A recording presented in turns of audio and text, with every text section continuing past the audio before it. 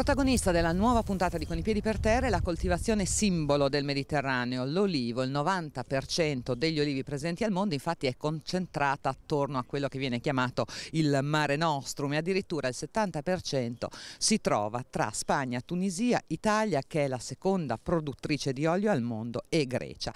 Per parlare di olivo e in particolare di potatura, di meccanizzazione nel, nell'oliveto siamo venuti ovviamente in Puglia che è la regione cuore pulsante dell'olivicoltura italiana. Sempre a questa eh, regione che è importantissima per l'agricoltura ma anche splendida dal punto di vista turistico è dedicata eh, l'incursione che Barbara Pacnazar ha fatto alla BITA Milano, la borsa internazionale del turismo. Poi ci metteremo invece a tavola e anche qui protagonisti saranno i sapori della Puglia che Gabriella Pirazzini ha eh, scoperto, ci racconta racconterà a Imola grazie a un ristoratore di origine pugliese che però lavora in provincia di Bologna. Ma cominciamo il nostro viaggio da qui, da Valenzano, la provincia è quella di Bari, siamo ospiti del centro didattico sperimentale Martucci dell'Università di Bari dove è appunto in pieno svolgimento la terza giornata dimostrativa di potatura meccanica e meccanizzata dell'olivo con pretrattamento e raccolta delle biomasse. Professor Biagio Bianchi, docente di macchine e impianti per l'industria alimentare dell'Università di Bari, la particolarità di questa eh, giornata, intanto ci sono diversi tipi di impianto, l'impianto l'oliveto tradizionale, l'oliveto superintensivo, gli alberi secolari, la particolarità di questa giornata è proprio questa, di poter vedere macchine all'opera su impianti diversi e capire quanto la meccanizzazione sia diversa come funzione proprio nei singoli impianti. Esattamente, il percorso che seguiranno gli spettatori di questa giornata sarà proprio un percorso eh, che condensa la storia eh, dell'evoluzione eh, della coltura olivo negli anni, eh, partendo dalla, eh, dall'olivo secolare e dalla coltura eh, olivicola tradizionale fino ad arrivare al semi-intensivo e al super-intensivo. Ovviamente chi eh, seguirà la giornata ehm, avrà modo di eh, riflettere eh, sul ruolo che hanno avuto le macchine in questa storia di evoluzione della coltura dell'olivo.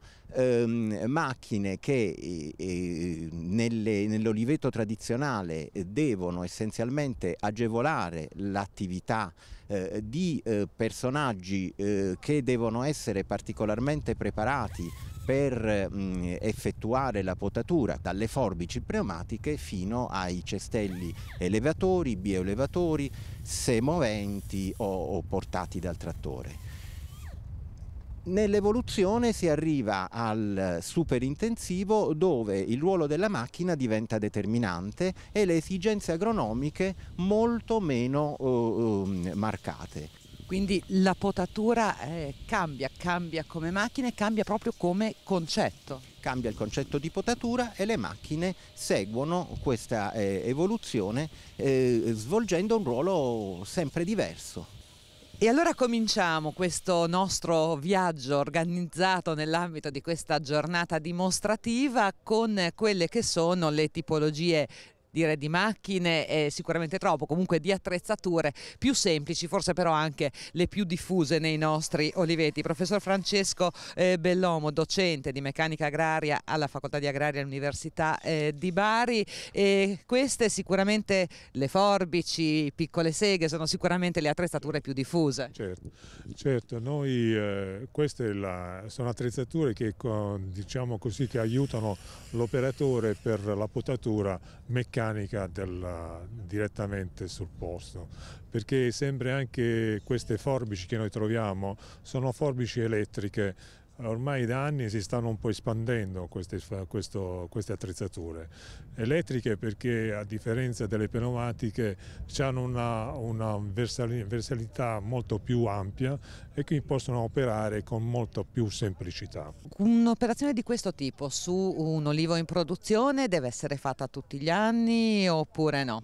No, la potatura normalmente dell'olivo deve essere fatta ogni due anni quindi non può essere fatta ogni anno quindi la, la potatura ogni due, ogni due anni, eh, subito dopo la raccolta in modo tale che la pianta poi si rifavorisca e porta altri frutti. Certo, certo. Una potatura abbondante oppure di, di, rifinitura? Dipende come è stata allevata la pianta probabilmente. Ogni, ogni due anni viene fatta una potatura eh, di, diciamo così, di andare a eliminare tutti quei rami che hanno già prodotto e quindi portare, lasciare la, la pianta molto più eh, ariosa nella parte centrale della, della, della, della, chioma in modo tale che si ha una reazione molto più eh, più efficiente. Diciamo. Ecco, noi qua vediamo fra attrezzature, ovviamente tante, la maggior parte sono telescopiche, proprio perché consentono da terra di lavorare anche sui rami alti, in sicurezza. Questo è importante anche qui, infatti questi, questo, questi sono alberi, diciamo che da noi sono alberi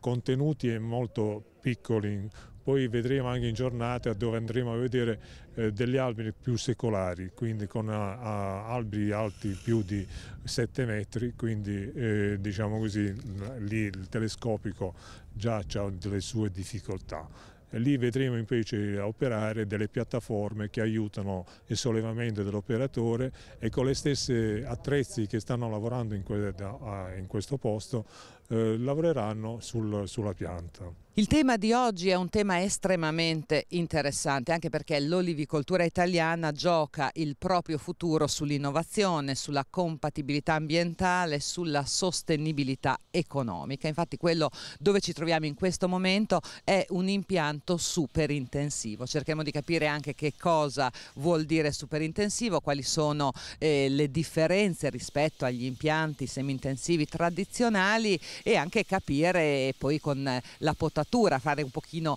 eh, di conti. Però eh, per cominciare, eh, dottor Salvatore Camposeo, ricercatore di coltivazioni arboree all'Università eh, di Bari, allora impianto super intensivo in Italia eh, non sono tanti, anche se noi di olivi in realtà ne abbiamo tantissimi, la Puglia sicuramente prima in Italia come ettari, come produzione eh, di olio. Questo tipo di impianti però è più facile vederlo in Spagna. Sì, Lì, eh, certo, la, la, Puglia è la principale regione olivicola olearia eh, d'Italia, non solo, ma dalla Puglia proviene circa il 10% dell'olio dell'intera pianeta Terra, quindi è, insieme all'Andalusia sono le due regioni del mondo dove la concentrazione di questa specie coltivata è altissima. E, ehm, mh, la diffusione di questi modelli è avvenuta negli ultimi vent'anni, un modello eh, nato in Spagna e poi diffuso in tutto il mondo, in realtà in Italia stenta ancora a decolare per tutta una serie di motivi, ma anche nella nazione dove è nato, in Spagna, questo modello culturale occupa appena il 2% della superficie olivicola iberica e tenete conto che la Spagna ha una superficie di 2 milioni di ettari, beh appena 40.000 ettari sono a questo impiantati con l'alta densità. In Italia su un milione di ettari, beh anche qui siamo allo 0,1% di superficie. E stime adesso stiamo mm, facendo delle stime più eh, precise, in Puglia soltanto ce ne stanno eh, circa la metà di tutti gli oliveti superintensivi d'Italia e dovrebbe, ormai hanno superato la soglia dei 500 ettari. In realtà sono i frutticoltori che si convertono all'olivicoltura ad alta densità, perché questo tipo di impianti eh, prevede la meccanizzazione integrale di tutte le operazioni, già a partire dalla messa a dimora fino alla, alla, alla raccolta.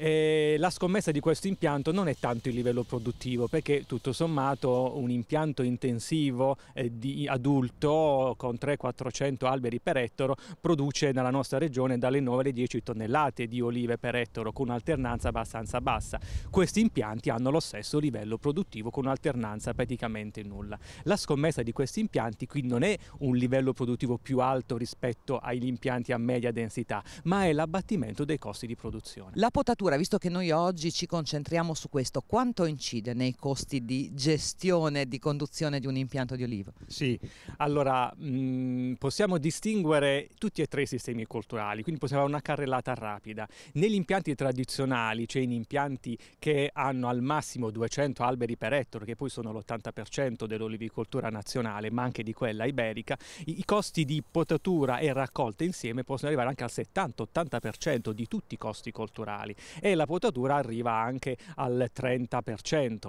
Negli impianti intensivi, per intenderci quelli con raccolta con sostitutore di tronco eh, in irriguo, lì i costi di potatura di, di, di, di, potatura e di raccolta diminuiscono sul totale, eh, ma aumentano quelli di potatura in modo relativo, quindi arrivano anche al 40% dei costi totali.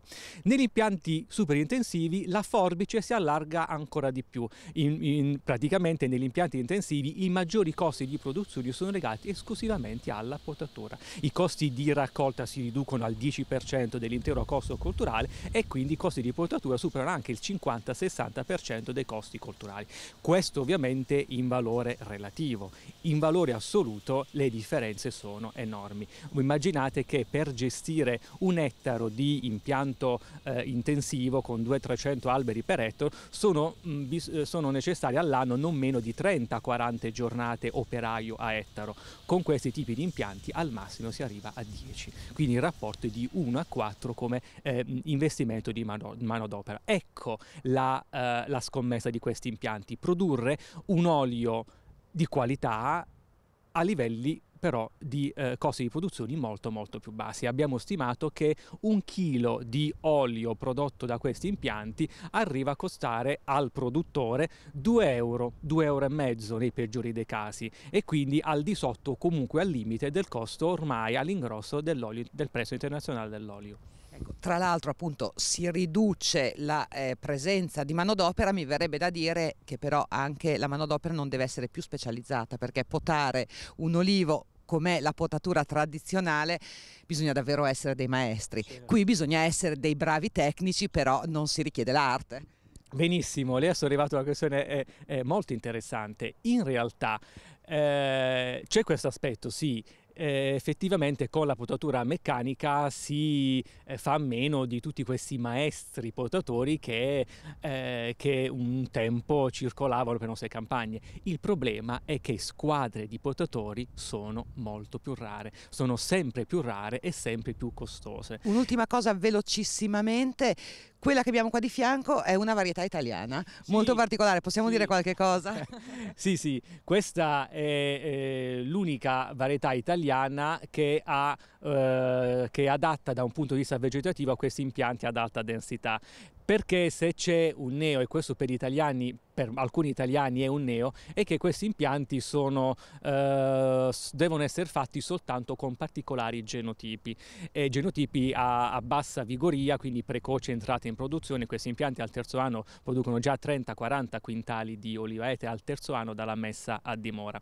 Però per ora eh, genotipi italiani che si adattano a questo, a questo tipo di eh, allevamento non ne abbiamo ancora trovati. Questa che invece invece eh, potete osservare è la Urano, è una varietà brevettata dai vivai sonnoli ed è l'unica tra le italiane che almeno da un punto di vista vegetativo eh, si presta a questo modello. Vedete è un habitus molto compatto che rasenta addirittura il nano ed è ideale per questi impianti perché ha una crescita molto contenuta. Questo vuol dire eh, costi di potatura molto bassi. Eh, stiamo eh, studiando questa cultivar perché oltre a questo aspetto interessante eh, stiamo approfondendo gli aspetti invece produttivi. Grazie infinite, restituisco la linea.